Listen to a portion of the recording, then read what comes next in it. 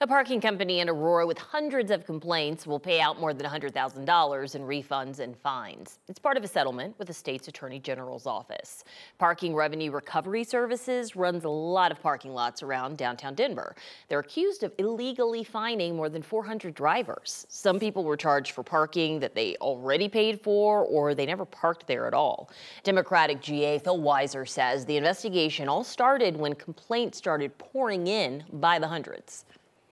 But when it gets to in the hundreds as here, we've got our attention focused. And then we have to do the due diligence where we basically in conversation with the company, like, what's your side of the story? They were unable to give us a justification. So we said, you've got a couple of choices. You can actually make it right, or we'll have to pursue litigation. They decided to make it right.